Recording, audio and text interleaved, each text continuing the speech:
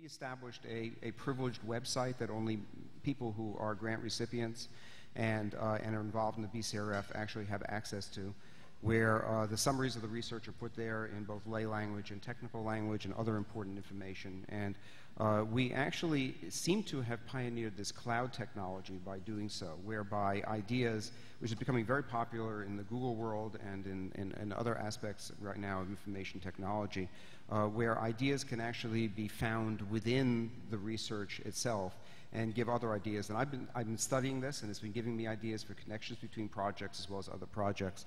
And information technology is a way that we can link together.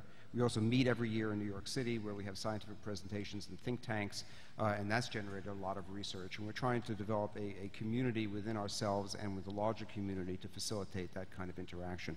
So thank you for raising that because I think it's an extremely important point about, about uh, the BCRF. And I, I, would love other organizations to join us in that, uh, in that particular activity.